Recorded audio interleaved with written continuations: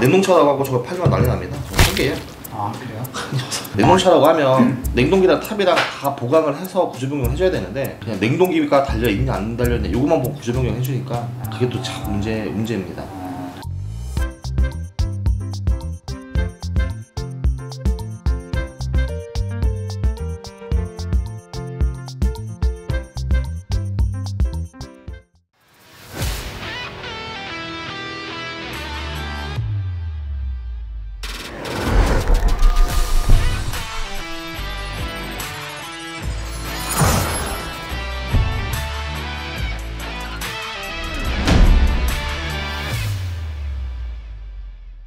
근데 그 1톤 냉동이요.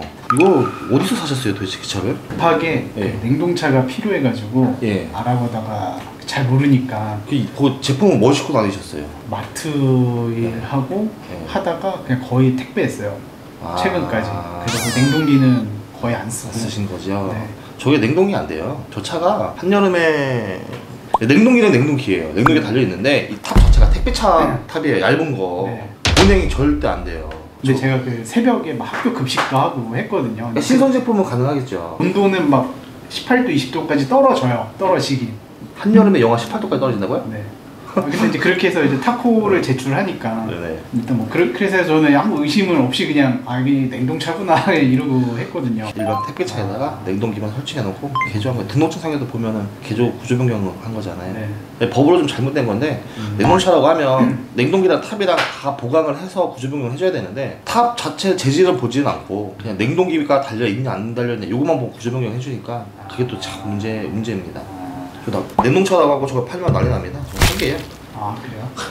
근데 이제 법적으로는 이제 등록증에 냉동차고 돼 있으니까 법으로 한다고 하면 뭐 저기 하겠지만은 음, 그거는 제가 차를 실제로 한번 보고 수리할 부분 있으면 거기서 감가가 될 수 있어요. 음, 네. 지금 저 몇 년식이었죠 참? 저기 18년식. 18년식이면 wing body로 바꾸실 거잖아요. 네. 이게 용달 넘버 달려 있는 거잖아요. 네.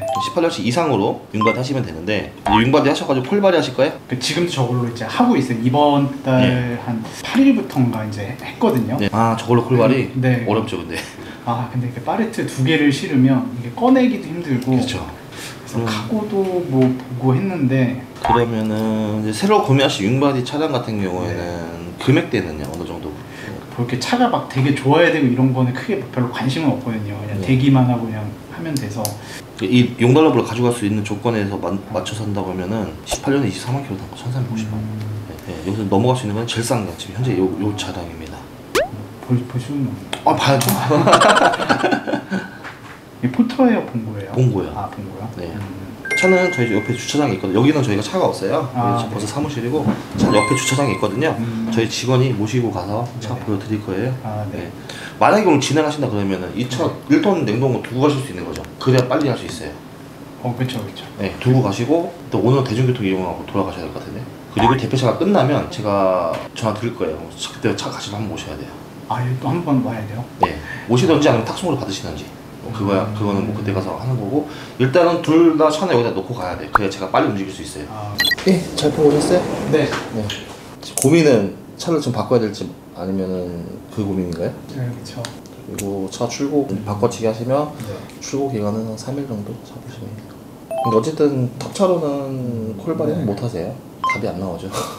제가 한 이번 주까지 좀 생각을 해보고 어, 고민 충분히 해보세요. 어, 예. 네. 결정 내리시면 그때 저 전화 주세요. 그러면 아. 서류까지 아예 만들어서 아, 오시면은 네네. 수혈하시니까요. 그렇게 도와드릴게요. 아, 네, 알겠습니다.